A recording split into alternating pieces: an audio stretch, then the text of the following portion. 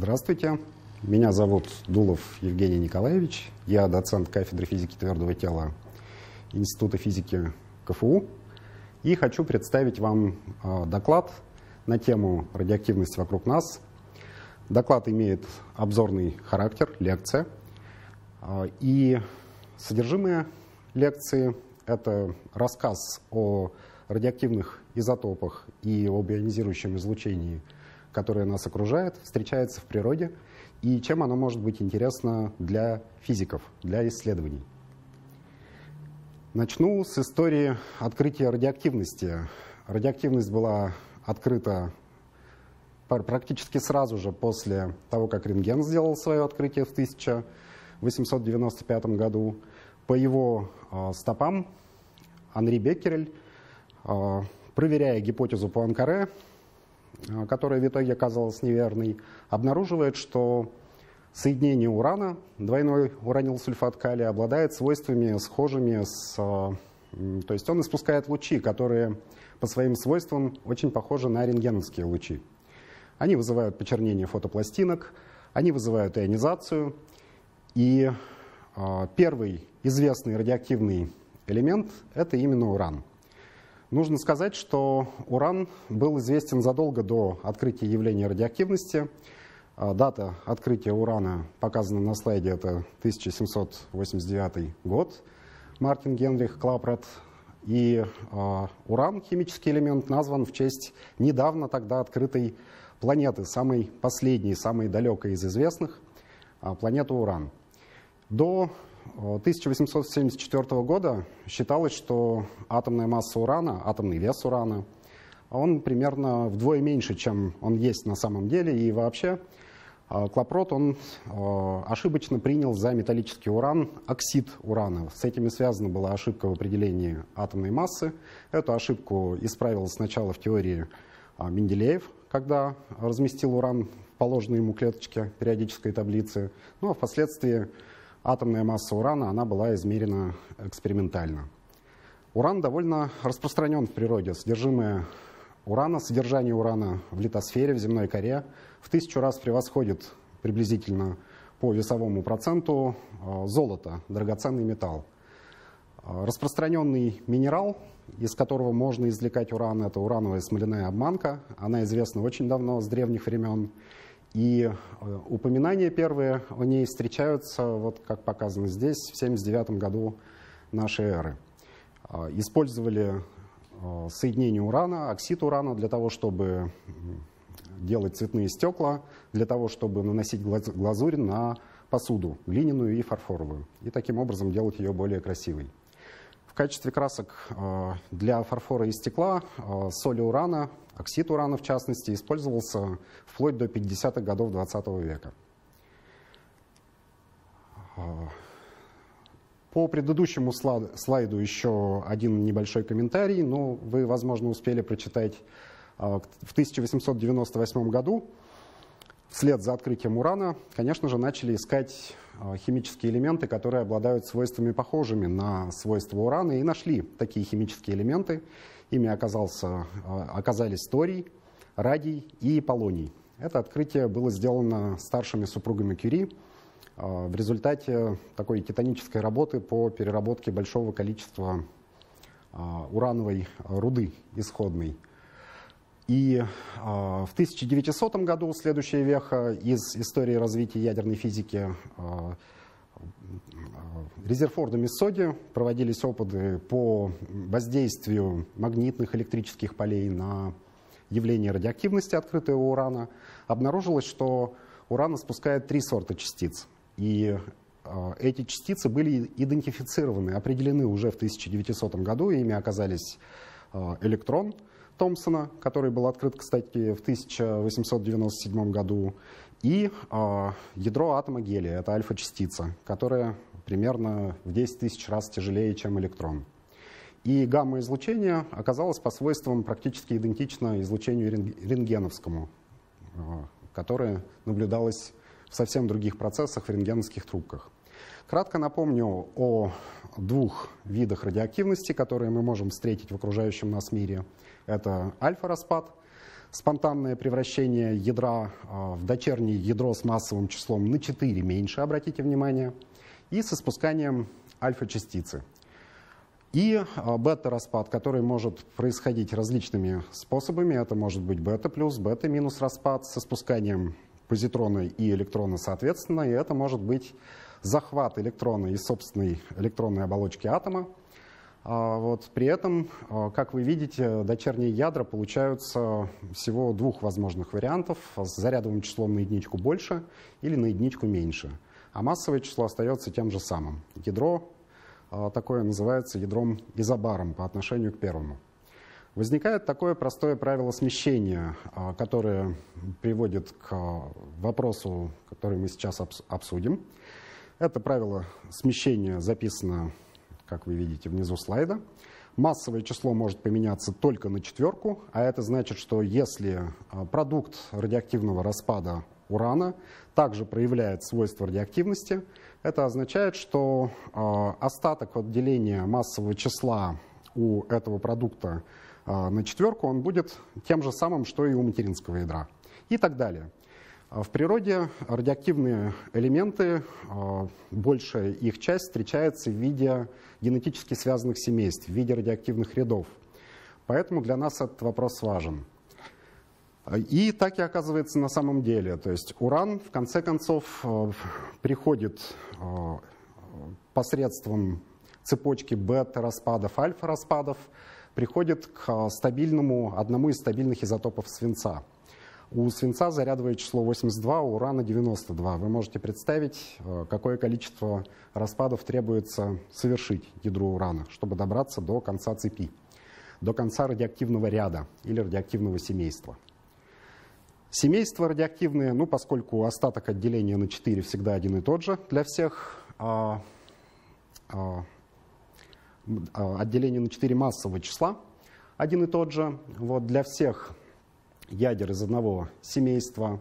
Всего мы можем иметь четыре семейства и не больше и не меньше. Вот они показаны на слайде. Не очень хорошо видны детали, но они нам сейчас и не нужны. Нам важно видеть, э, какое количество превращений совершает ядро, прежде чем оно э, добирается до конца радиоактивного ряда, прежде чем получается стабильный изотоп. Э, и среди четырех представленных рядов один из рядов, нептуниевый ряд, он не встречается в природе, потому что среди звеньев, среди ядер в, этой, а, в этом семействе нет а, достаточно долгоживущих ядер, у которых время жизни или период полураспада сравним с геологическим возрастом Земли. Поэтому нептуниевый ряд наверняка существовал на ранних этапах а, существования Солнечной системы, но к настоящему времени невозможно найти даже следов этого ряда. Период полураспада порядка миллиона лет, 2 миллиона лет у Нептуния 237, а, но этот ряд может быть получен искусственным путем. А, изотоп Нептуний-237 может быть синтезирован.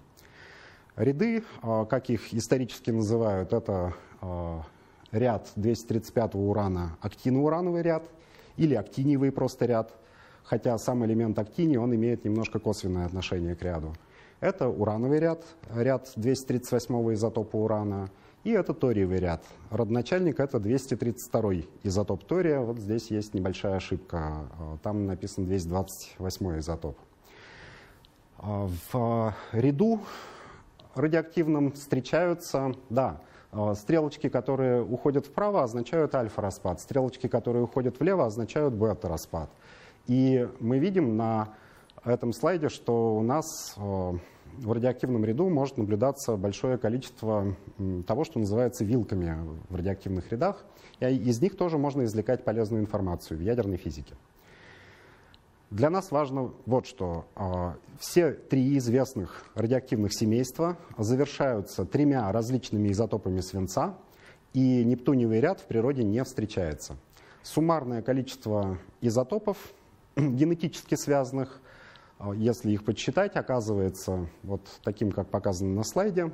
Здесь я ошибочно подсчитал стабильные изотопы свинца, поэтому из 49 изотопов можно вычесть 3 и получить 46 а, изотопов в радиоактивных рядах. И а, можно обратить внимание на то, что среди радиоактивных ядер в рядах, в семействах, довольно большое количество ядер с небольшим периодом полураспада.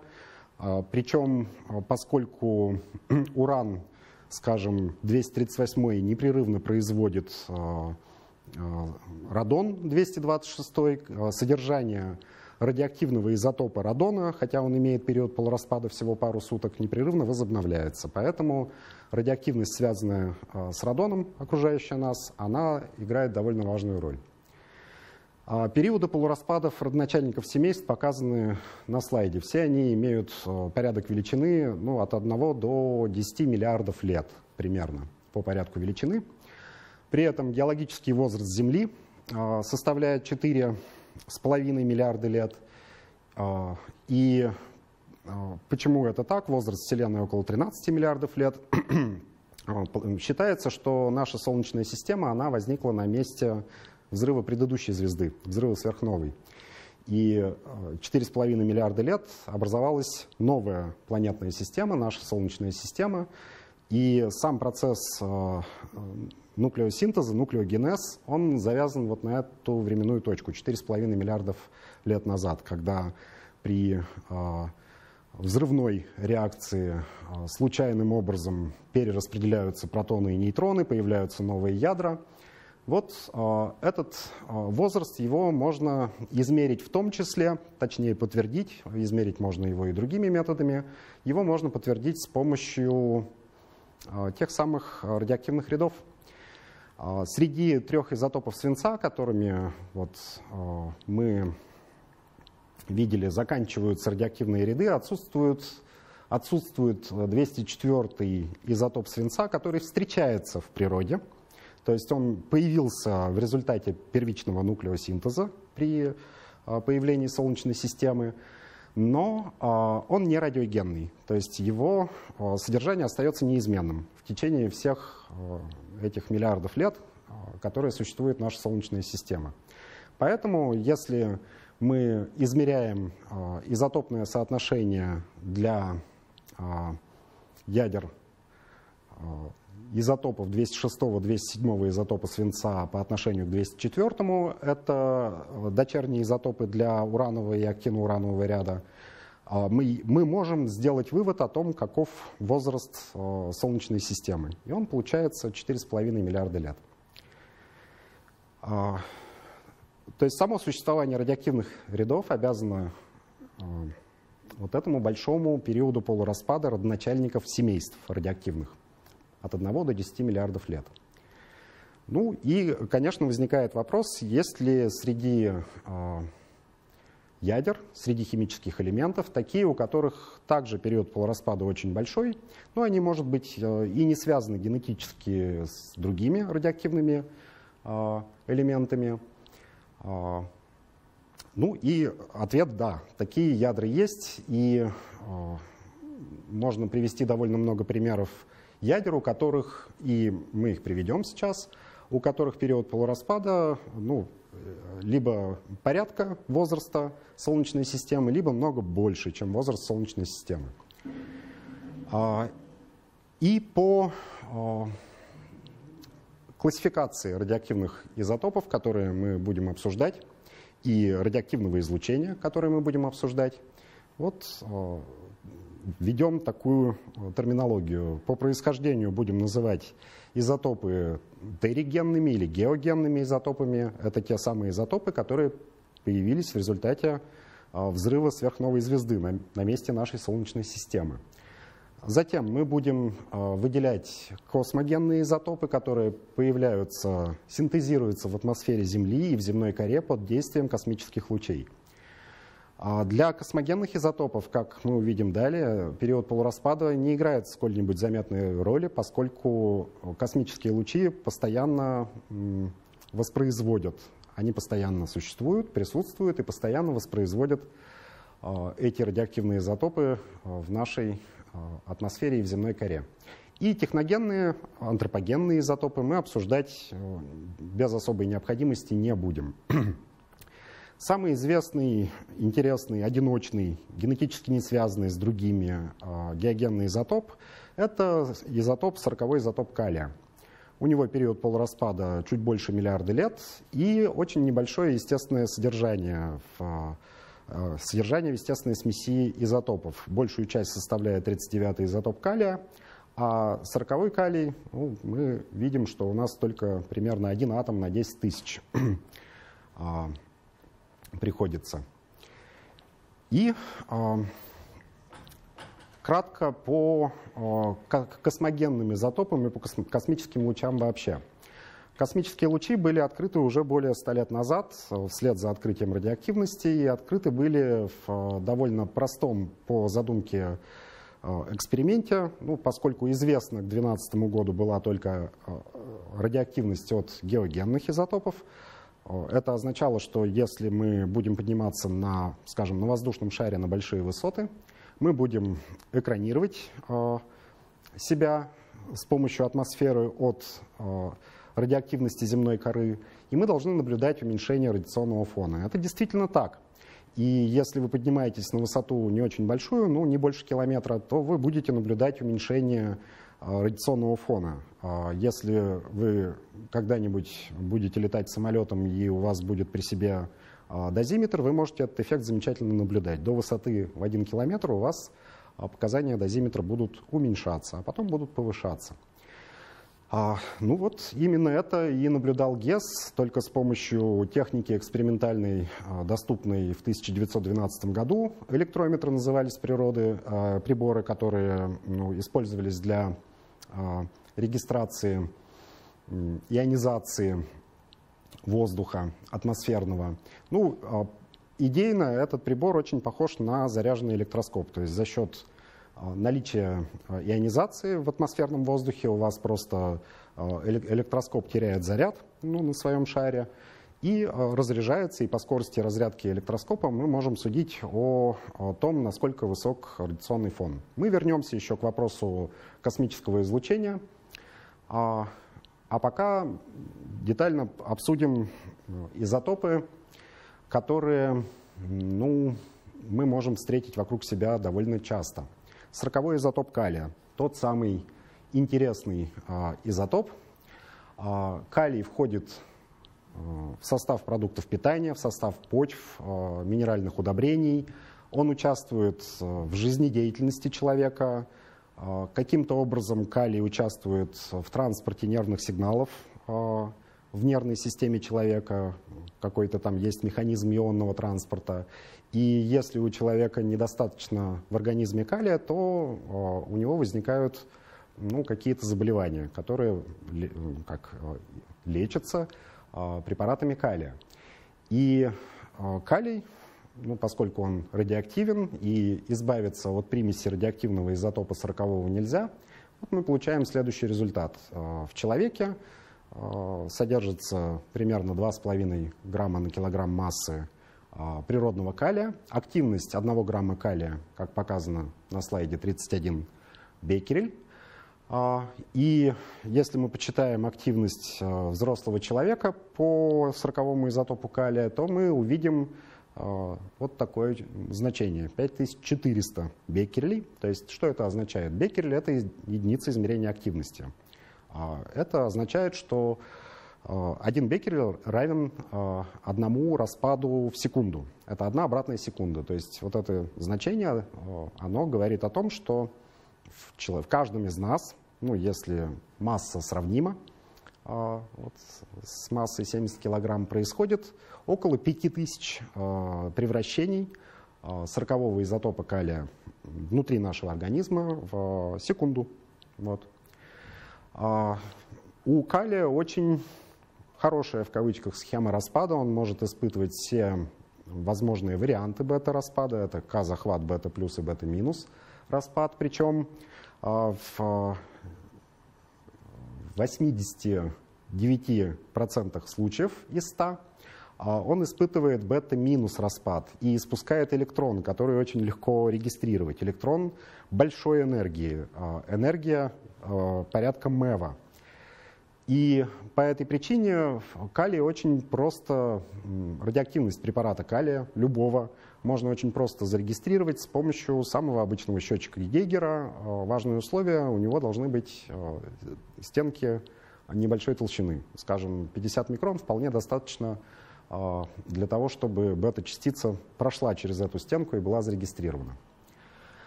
Встречается калий вот, в порядке убывания значимости в продуктах питания, бананы, картофель, зеленый чай, орехи и ну, любые соединения калия вы можете их радиоактивность калия на них тоже обнаружить. Вот схема распада калия 40 он превращается либо в стабильный изотоп аргона 40 либо в стабильный изотоп кальция. Энергия распада, как вы видите, вот самый интересный для нас канал распада, который имеет вероятность почти 90%, э, он приводит к испусканию бета-частицы с энергией больше 1 мегаэлектрон-вольта, с большой проникающей способностью.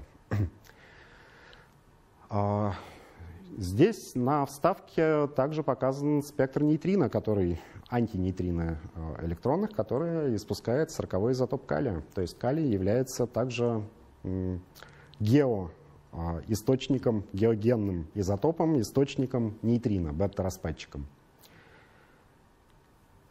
А, в связи вот с такой популярностью калия существует э, то, что называется банановым эквивалентом. Бананы — это продукты, ну, одни из самых богатых калием, и в одном среднем банане содержится примерно полграмма а, калия. Это означает, что в каждом банане происходит 15 радиоактивных превращений калия в секунду. И а, ну вот а, шуточный эквивалент для мощности дозы мы будем э, пользовать, э, то есть мы уже начали пользовать эти эквиваленты без каких-либо пояснений. Когда я э, говорю, что калия содержится в банане 15 беккерелей, я подразумеваю, что его содержится там такое количество, что это количество дает нам 15 радиоактивных превращений в секунду. Вот, как вы видите, вот летальная доза, понятно, что она никем не проверялась, просто она подсчитана из известных данных по э, значению э, дозы, полученной человеком, которая гарантированно приводит к летальному исходу. А, это важный, но не единственный источник внутреннего облучения человека. А, то есть эти радиоактивные превращения происходят внутри нас. Есть еще космогенный радиоактивный изотоп, у которого период полураспада заметно а, меньше, около 5000 лет. Это известный изотоп, по которому делается радиоуглеродное датирование, а, известный для археологов. И содержание углерода 14 во взрослом человеке составляет примерно 3 килобеккереля. Но а, если мы сравним периоды полураспада, то можно догадаться, что число атомов изотопа 14 углерода у нас содержится намного меньше в человеке, чем число атомов 40 изотопа калия. А мы вернемся еще к перелету из Москвы во Владивосток, к причинам, по которым у нас возникает повышенная дозовая нагрузка на человека при поднятии на большую высоту, когда более детально разберем космические, космические лучи. Рубидий 87 замечательный изотоп тем, что у него очень большая удельная активность. Но, к сожалению, в отличие от 40-го изотопа калия, рубидий не испускает гамма-квантов. Это бета-распадчик с энергией с верхней границей бета-спектра 0,274 мегаэлектрон-вольта. Такие бета-частицы гораздо труднее регистрировать, чем бета-частицы от 40-го калия. И ну, большой плюс в том, что содержание в естественной смеси изотопов намного больше для радиоактивного изотопа рубидий-87. Ну, за счет этого и намного большая активность, хотя период полураспада тоже оказывается больше. Рубидий — это щелочной металл, так же, как и калий. Поэтому фотография, которую вы видите, а, которая показывает вам этот металл, это фотография запаянной ампулы, потому что на открытом воздухе этот а, металл очень быстро окисляется. А, рубидий используется в рубидий-стронцевом методе датирования, то есть по соотношению изотопов а, материнского изотопа 87-го рубидия и 87-го изотопа стронция. Также можно делать а, вывод о возрасте тех или иных находок, но только в масштабах уже превышающих время существования нашей Солнечной системы, и таким образом мы можем контролировать результаты, полученные другими аналогичными методами. Это широко распространено. Вот, э, интересно отметить, что пара изотопов 85 и 87 рубидия используется в одной из вариаций э, конструкции атомных часов. Рубидиевые атомные часы, они так и называются, и э, свойства радиоактивности здесь совершенно ни при чем. Э, используется свойство следующее, что у одного из изотопов, у 87-го изотопа рубидия, если я не ошибаюсь, э, имеется отличный от нуля спин у ядра, и имеется сверхтонкое взаимодействие с электронной оболочкой, и поэтому э, электронные уровни этого изотопа, они оказываются э, расщеплены за счет сверхтонкого взаимодействия. Тогда как у рубидия 85 это сверхтонкое взаимодействие отсутствует, потому что спин у ядра нулевой. Связано это все равно с ядерной физикой. И по этой причине мы можем э, эффективно ну, э, управлять поглощением на одном из подуровней э, атомов рубидия 87 изотопа. Рубидий 85 изотоп выступает в роли фильтра, который можно использовать для того, чтобы отсечь одну из оптических линий э, и заставить переходы происходить строго с э, одного из э, нижних состояний в верхнее. Дальше хорошо известный материал. Если у кого-то есть платиновые украшения, ну вот платина тоже содержит геогенный радиоактивный изотоп, 190 изотоп платины, который испытывает альфа-распад, у него очень большой период полураспада и содержание примерно как у калия, вот, 12 тысячных процента в естественной смеси изотопов. В результате альфа-распада э, платина превращается в осмий, э, энерговыделение э, характерное для альфа-распада с такими периодами полураспада около 3 мегаэлектрон-вольт, и активность очень небольшая, меньше 1 беккереля на грамм. Если вы сравните с активностью калия, ну это на 1-2 порядка меньше.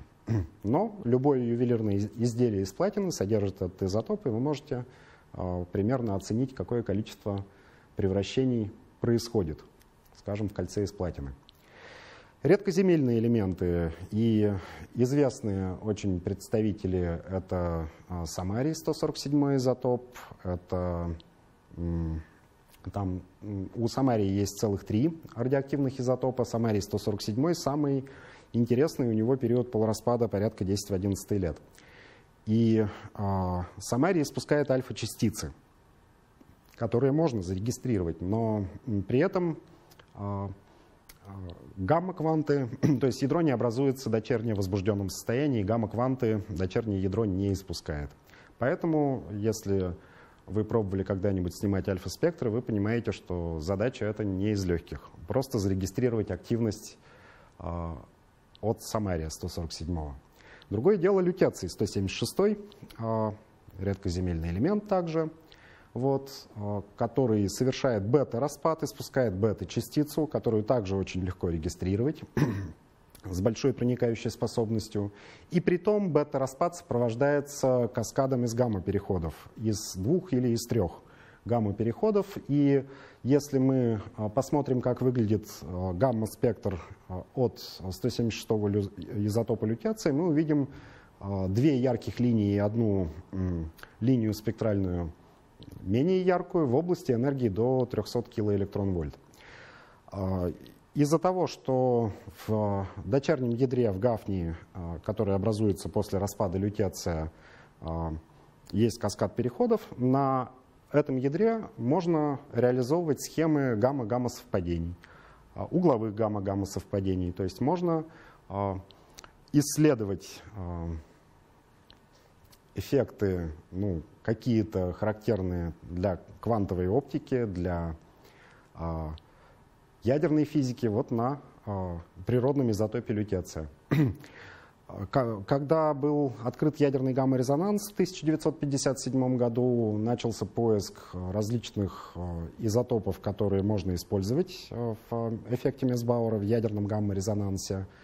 И среди изотопов, э, найденных, был также и изотоп Гафния 176 который является дочерним по отношению к лютецию. То есть лютеций можно использовать также для реализации эффекта ядерного гамма-резонанса.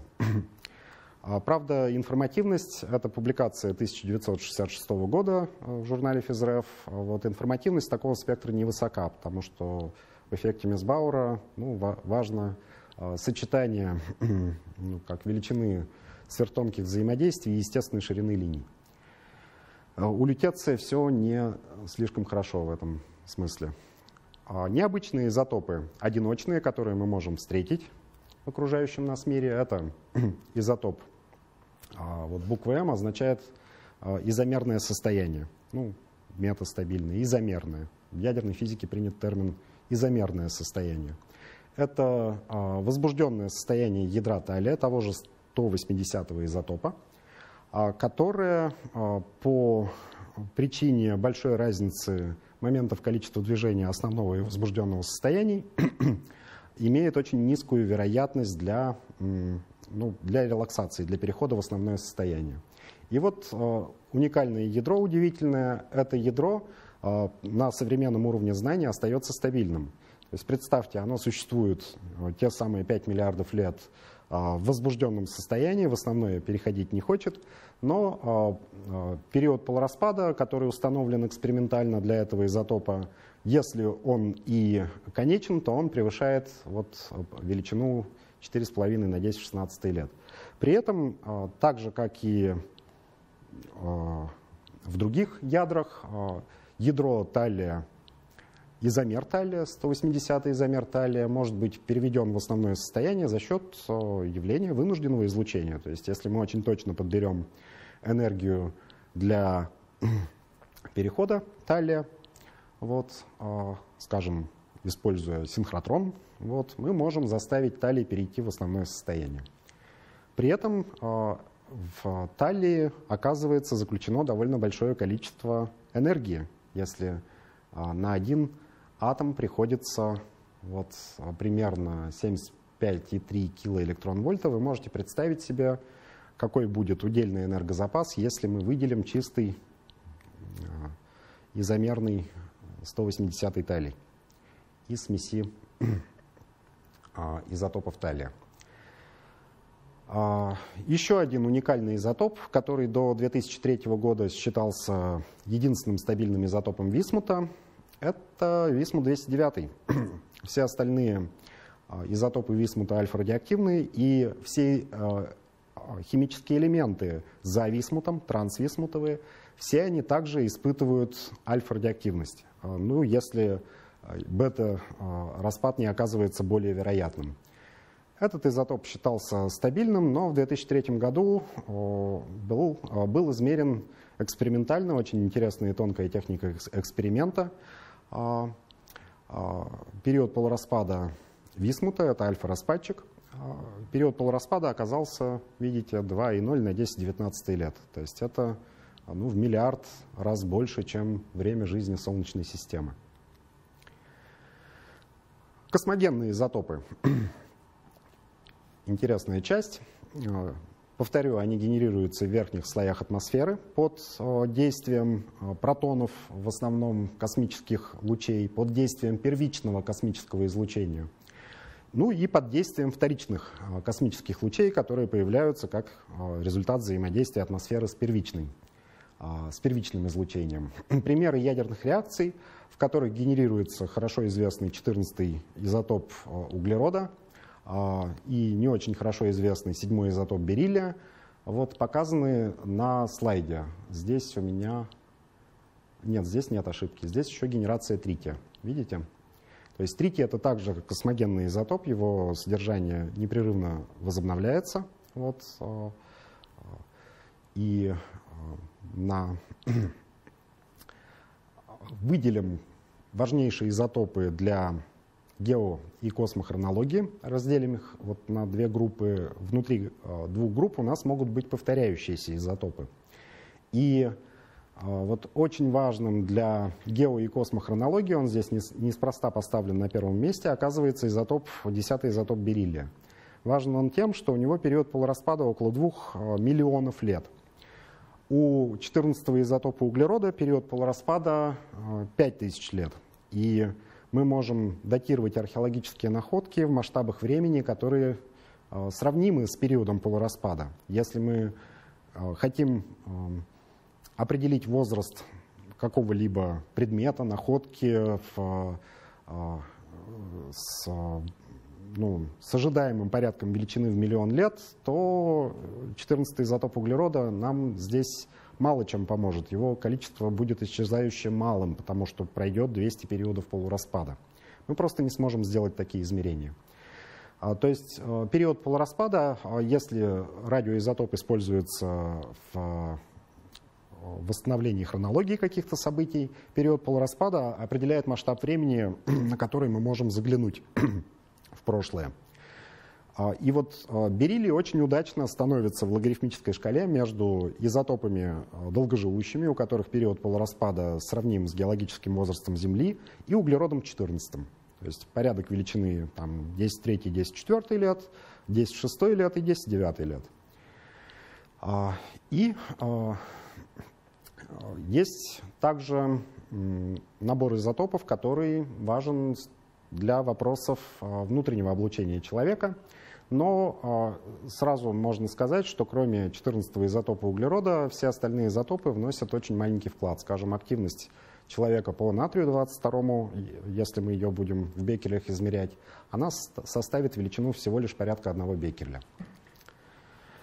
А,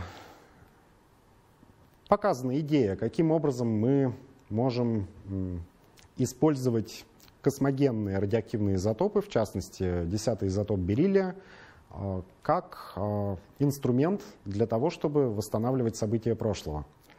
На блок-схеме вы можете видеть, э, чуть позже детально разберем эту классификацию, вы можете видеть, что космические лучи, которые, то есть частицы, которые приходят в атмосферу Земли извне, их можно разделить на галактические солнечные.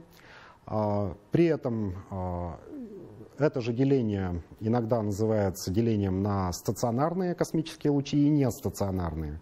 Нестационарные — это солнечные космические лучи, поскольку ну, известно, что Солнце э, периодически меняет свою активность и меняется также и количество частиц, которые выбрасывает Солнце и которые поступают к нам на Землю. 11-летний цикл, самый известный солнечный цикл. Мы живем сейчас на пике этого солнечного цикла. Сейчас испускается максимально возможное число а, протонов Солнцем. И а, вот а, солнечная модуляция, вот это как раз и есть отражение той самой нестационарности солнечных космических лучей, или как его называют, солнечного ветра. Кроме этого, модуляция геомагнитным полем. Пока не сильно задумываемся о том, что это такое. Ну, а, кратко, ну и вы уже, наверное, догадались, а, у Земли есть магнитное поле, и это магнитное поле действует на частицы. А, неожиданным оказывается то, что в астрономических масштабах даже поле очень скромное, это пол Эрстеда, модуль поля Земли, вот где мы находимся в этом месте, например. И по порядку величины это в любом случае будет один эрстед, где бы мы ни находились. А магнитное поле Земли оказывает существенное влияние на вклад космических лучей в а, радиоактивность окружающую нас. И в конце концов а, частицы космических лучей попадают в земную атмосферу и в земную кору, и там генерируют новые радиоактивные изотопы. Поэтому Бериллий 10 очень важен для геохимии и, а, как это можно назвать, а, для восстановления событий, связанных с каким-то повышением вклада космических лучей. А, вот пример, который показан на рисунке, он отражает рост активности. Да, бериллий 10, как в настоящее время ну, а, считается, он генерируется преимущественно в атмосфере Земли. Раньше, еще несколько десятилетий назад, а, в этом были сомнения. Ну вот а, сейчас считается, что десятый изотоп бериллия генерируется в верхних слоях атмосферы, затем он попадает на поверхность Земли, он попадает в океаны, в, вот как вы видите здесь, самые удобные А, как объекты, которые выступают в роли магнитной ленты или ленты для самописца, оказываются полярные льды и донные осадки морей и океанов. То есть бериллий а, постепенно осаждается на поверхность Земли, и мы получаем, скажем, в арктическом льду мы получаем наслоение а, бериллия с различной активностью, которая зависит от солнечной модуляции, модуляции геомагнитным полем, от э, интенсивности космических лучей, мы получаем вот э, такую, э, такой самописец, который позволяет нам увидеть, что было в прошлом. И на слайде здесь показан совместный результат работы двух методов радиоуглеродного датирования и датирования по десятому изотопу бериллия. Вот видно, что здесь 34 а, тысячи лет и 38 тысяч лет назад происходили некоторые события, которые интерпретируются как взрывы сверхновых звезд нашей галактики. То есть это естественные детекторы, по которым мы можем восстанавливать хронологию событий. Космические лучи, вот более детально то, о чем я говорил, воздушный шар, на котором Росси а, поднимался с электрометром и а, устанавливал вот а, эту зависимость. Вот на этой зависимости показан минимум, он будет зависеть от широты на самом деле, от местоположения, где вы проводите эксперимент, но вот на этом графике показан минимум в районе 500 метров. То есть мы видим минимум естественного радиационного фона, который складывается из геогенного радиационного фона и космогенного вот, на высоте около 500 метров. Космические лучи — это, кроме деления на стационарные и нестационарные, еще э, различают э, галактические э, космические лучи и внегалактические космические лучи, которые пришли к нам извне. То есть где-то они сформировались за пределами нашей галактики и просто попали потом к нам. Спектр солнечных космических лучей, спектр солнечного ветра и спектр галактических и внегалактических космических лучей показан здесь на слайде. Видите, что а, для а, галактических космических лучей характерен диапазон энергии где-то от 10 МФ до, а, там, вплоть до 10 в 20 электрон-вольт. А для солнечного ветра характерна энергия гораздо меньше. Основной состав космических лучей а, — протоны и альфа-частицы, незначительная доля более тяжелых ядер, ну а также электроны, а, пришедшие к нам извне. А, спектр космических лучей. Вот спектр, здесь показан флюкс, то есть это количество событий на квадратный метр в секунду. А, и вот на этом графике мы а, видим такой характерный спектр для космических лучей и характерные точки, которые показывают, а, какое количество частиц падает на единицу площади поверхности. Здесь в секунду, здесь в год. И здесь уже не на квадратный метр, а на квадратный километр в год.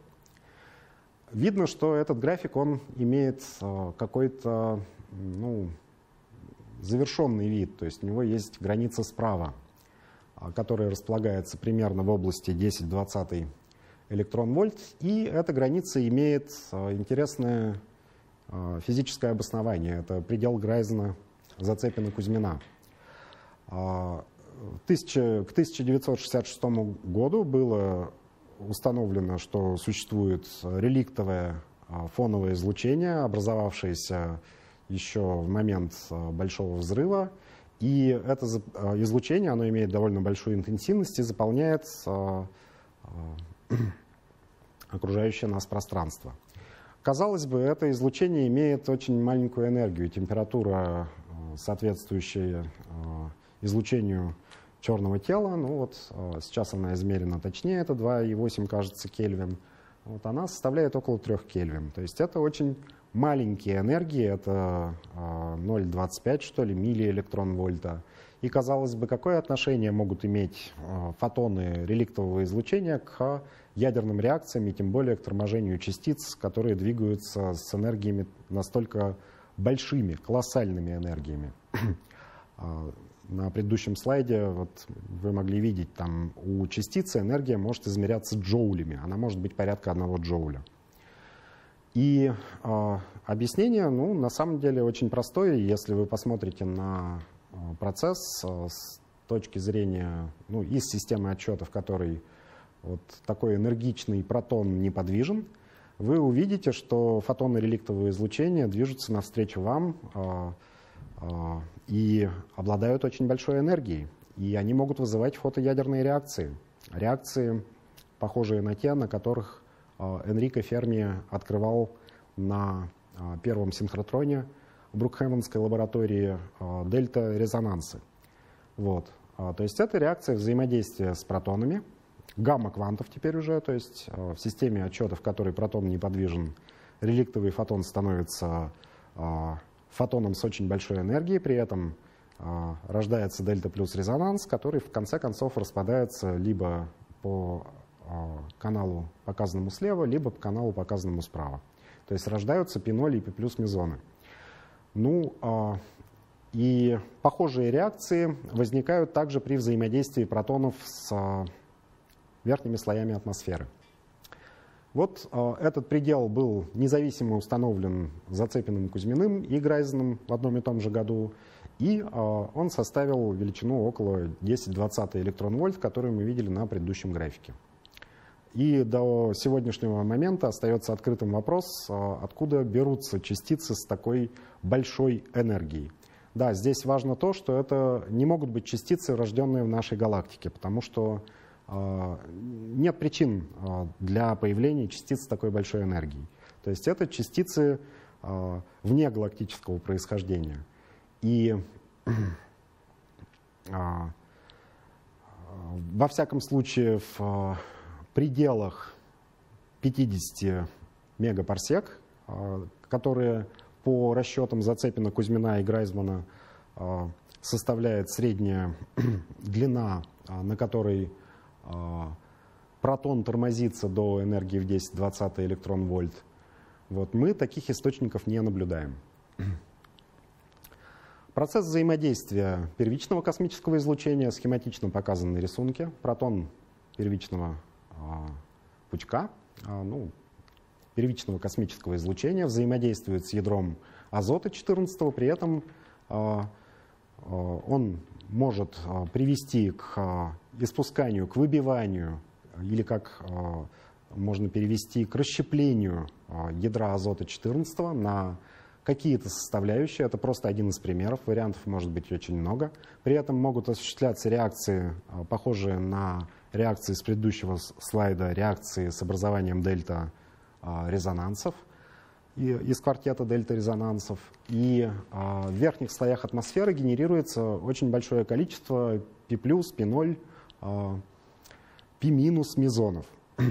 Благодаря очень большой энергии а, космических, частиц космических лучей, протонов космических лучей. А, Пи-мезоны в итоге не доходят до поверхности Земли, они имеют а, слишком маленькое время жизни, порядка наносекунды. Они распадаются, не дойдя до поверхности Земли. При этом генерируются а, мионы, которые впоследствии распадаются на электроны. А, во всех этих процессах могут генерироваться сопутствующие гамма-кванты, которые могут приводить к рождению электрон-позитронных пар. И в итоге мы на поверхности Земли имеем большое количество разнообразных частиц, которые в основном ну, представляют собой поток а, электронов, позитронов, мионов и гамма-квантов. Вот а, такой вклад у поверхности Земли. На рисунке здесь показано а, модельное представление, конечно, это а, взаимодействие частицы очень большой энергии с энергией около 10-19 электрон-вольт с земной атмосферой. Вот на высоте 12 километров происходит первое взаимодействие, дальше образуется каскад взаимодействия, энергозапас очень большой, таких реакций оказывается очень много. Они представляют собой вот такой вот, такую картинку, похожую на душ, ливень. Ну и само событие так и называется, это широкий атмосферный ливень. И эти ливни представляют очень большой интерес на самом деле, потому что а, вернусь к предыдущему, к одному из предыдущих слайдов. Вот здесь показана точка LHC, это Большой адронный коллайдер. Вот до такой энергии в логарифмической шкале добралось на сегодняшний день человечество. И в области энергии на 6-7 порядков больше, которые регистрируются у частиц э, межгалактических э, космических протонов, вот, мы можем наблюдать нечто, ну, что не вписывается в Э, общую картину, ну, мы можем выйти за пределы наших технических возможностей, как было когда-то в начале 20 века. Широкие атмосферные ливни можно регистрировать различными способами. Самый первый способ заключался в ионизационном действии частиц атмосферного ливня, электронов, заряженных частиц, электронов и мионов – и в схеме совпадений при сработке большого количества датчиков мы могли судить о том, что у нас именно произошло событие ливня. Ну, а в настоящий момент ионизационный э, след, он регистрируется, ну, то есть это не самый эффективный метод для регистрации э, частиц широкого атмосферного ливня.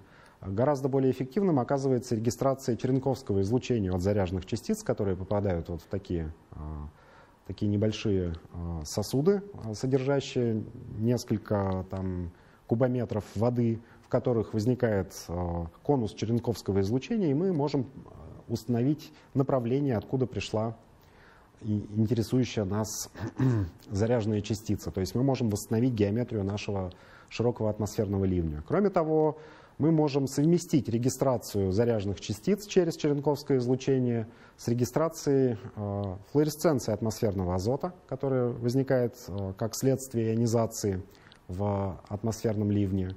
И кроме того, поскольку у Земли есть магнитное поле, мы можем также регистрировать и отклонение заряженных частиц в магнитном поле с генерацией радиоизлучения. Вот. И э, а, таким образом, дополнительно подтверждать события широкого атмосферного ливня и извлекать дополнительную информацию.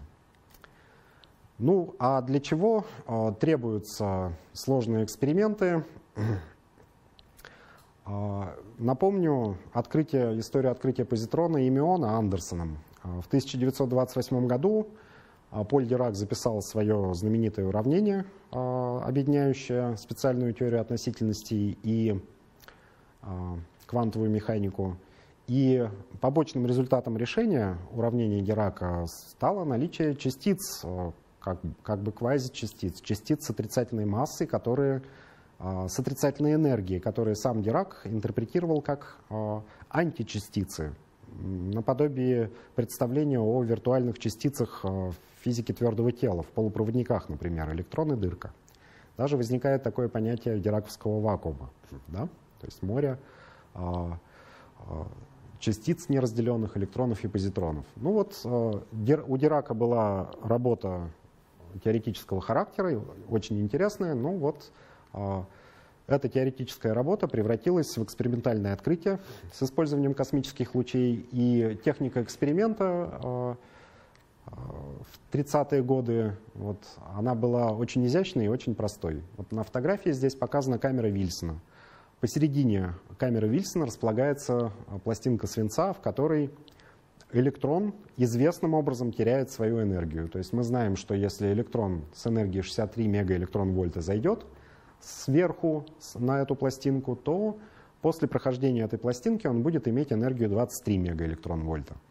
Но а, электрон имел бы закругление... Да, а сама камера Вильсона находится в магнитном поле, конечно же. А, то есть по этой причине у нас траектория заряженной частицы искривляется, и мы можем даже найти отношение массы частицы к а, ее заряду. Но ну вот важно то, что при данной ориентации магнитного поля мы должны иметь закрученность трека в другую сторону. Вот по радиусу искривления трека в камере Вильсона мы можем судить о том, что частица пришла именно сверху. Вот здесь она затормозилась, пройдя пластинку свинца. Здесь она имеет меньший радиус кривизны траектории. Вот у электрона а, с энергией 63 МФ была бы зеркально-симметричная картина.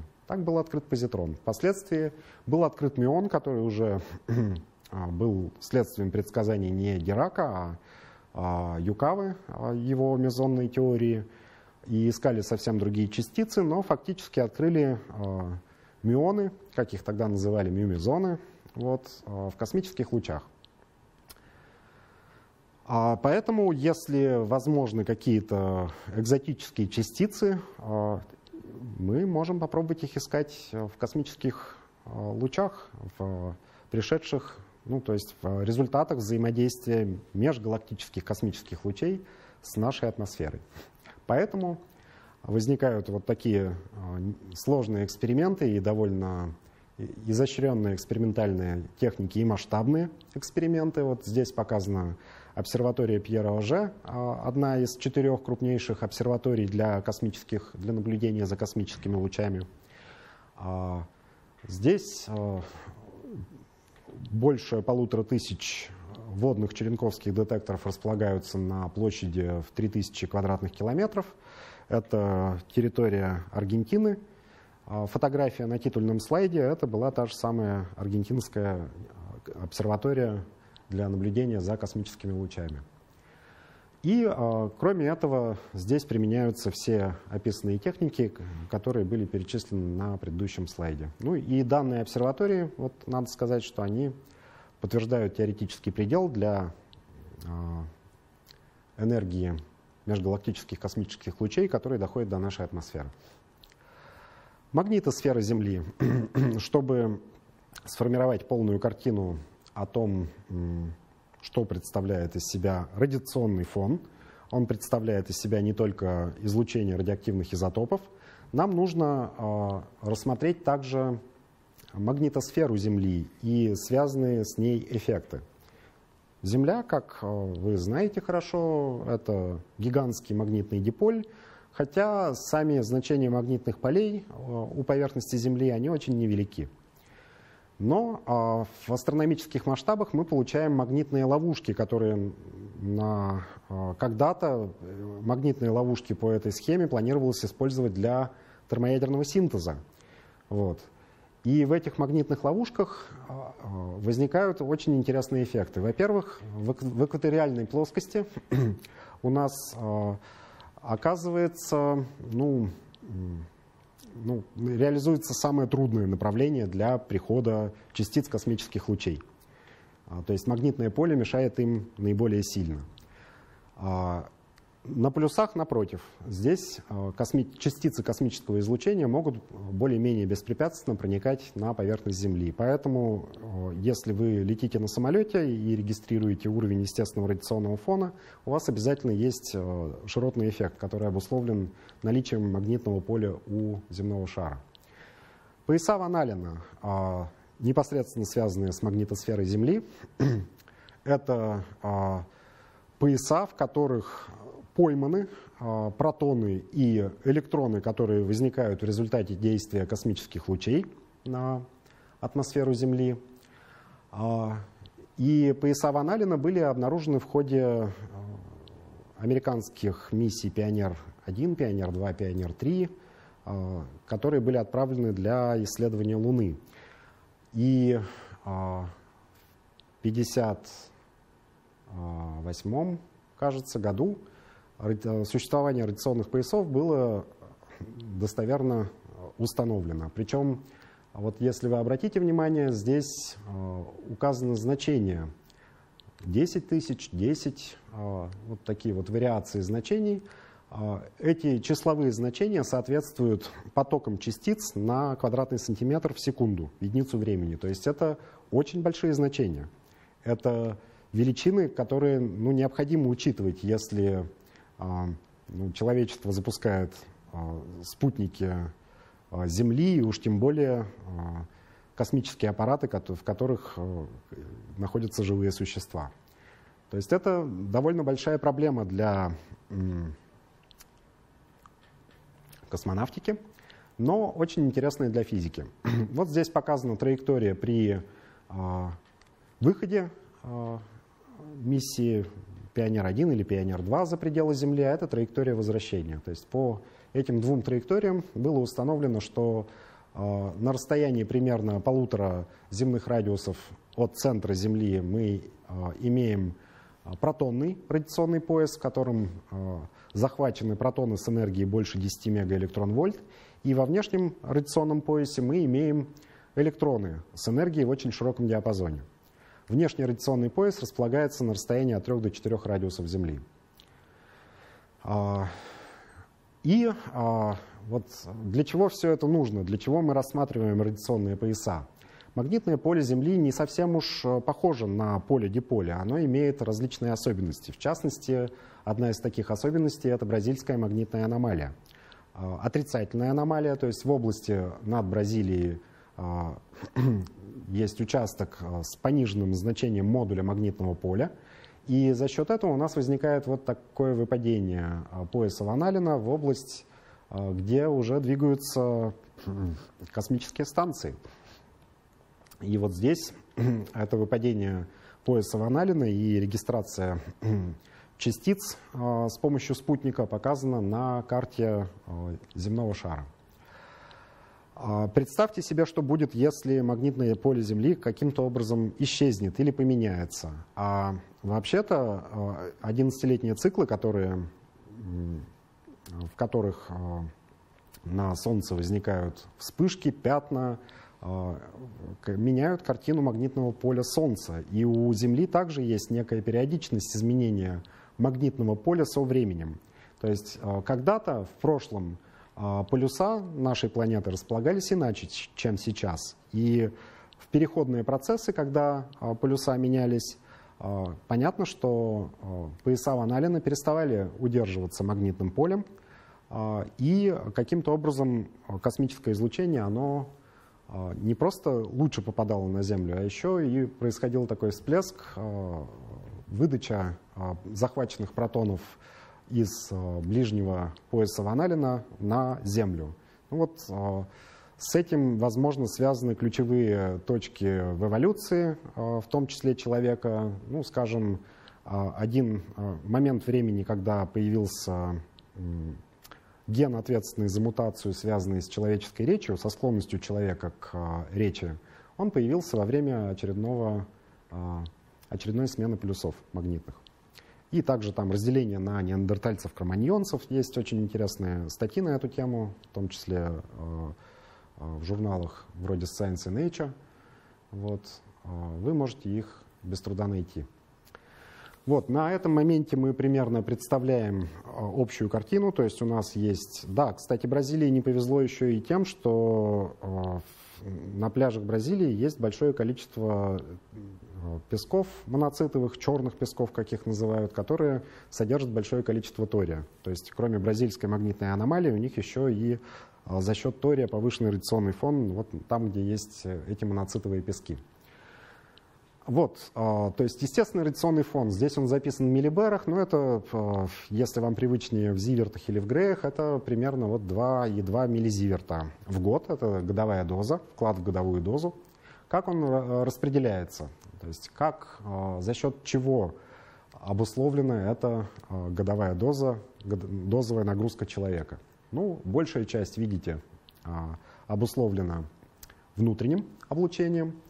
И внутреннее облучение, что интересно, наибольший вклад вносит 222 изотоп радона. То есть это продукт распада 238 изотопа урана или 200, либо в урановом, либо в активно-урановом ряде.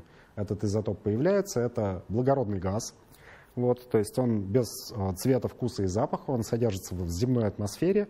И э, вот здесь мы можем про э, техногенные источники вспомнить в том смысле, что э, добыча полезных ископаемых, э, добыча урана в итоге привела к повышенному содержанию радона в земной атмосфере.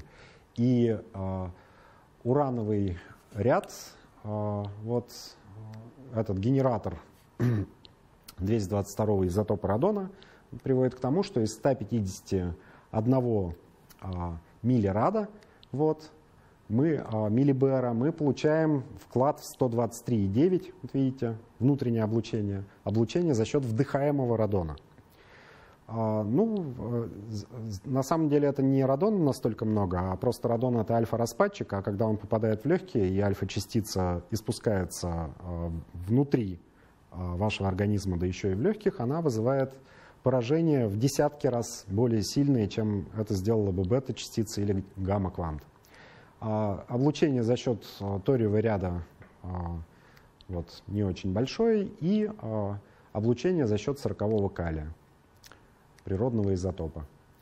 Космогенные радионуклиды, которые так или иначе попадают к нам в организм с пищей, вот они показаны, эти пять космогенных радионуклидов, они вносят а, свой вклад, но, как видите, не очень большой. Вот. А за счет а, вторичных, вторичных космических лучей. И само по себе первичное космическое излучение, оно может добираться до